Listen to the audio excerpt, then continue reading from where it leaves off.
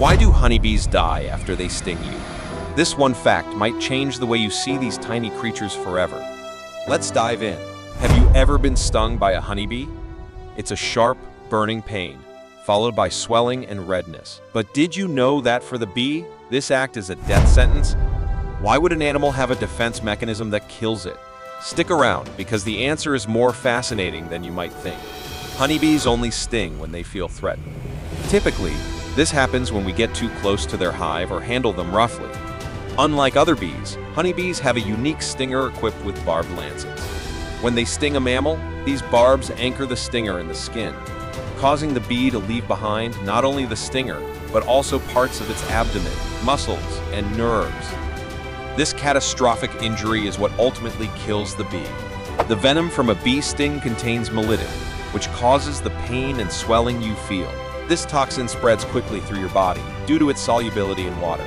To minimize the damage, it's crucial to remove the stinger as soon as possible. The longer it stays in, the more venom it pumps into your skin. Interestingly, honeybees can sting other insects multiple times without dying. The difference lies in the thickness and texture of mammalian skin, which traps the barbed stinger, unlike the smooth exoskeleton of other insects. But what about other bees?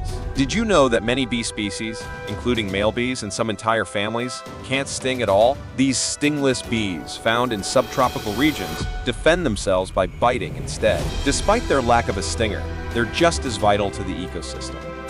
On the flip side, Africanized bees, known as killer bees, are infamous for their aggressive behavior. Introduced in Brazil in the 1950s, these bees can chase a threat for up to a quarter of a mile and attack in swarms, making them far more dangerous than their European counterparts.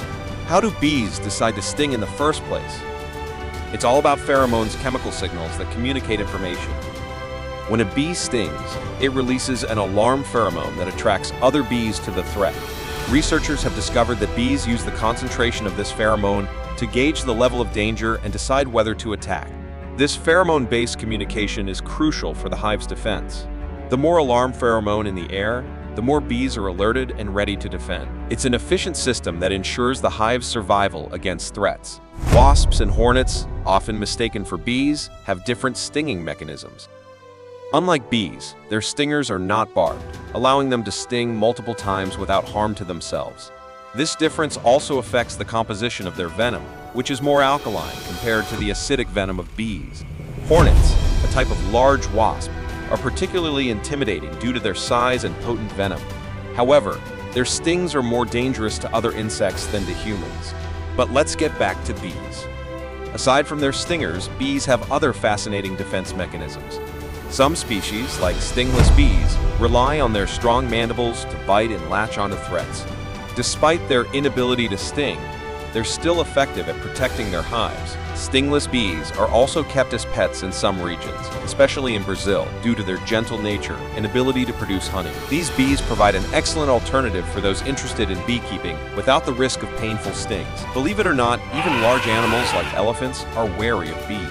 Elephants are known to avoid areas where bees are present, and conservationists have used this to their advantage by setting up beehive fences to protect farms from elephant raids. This method has proven to be highly effective. Now, here's a surprising twist. Some people use bee stings for health benefits, known as apitherapy. Bee venom therapy involves controlled bee stings to treat various medical conditions. While it sounds painful, proponents believe the venom's anti-inflammatory properties can be beneficial. So, next time you see a honeybee, remember the incredible sacrifice it makes to defend its hive. From their unique stingers to their complex social behaviors, bees are truly fascinating creatures. And while a sting might hurt us, it's a life or death situation for the bee.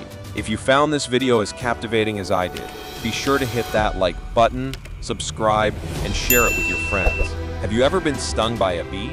Share your story in the comments below. Thanks for watching. Until next time, stay curious and keep exploring the amazing world of bees.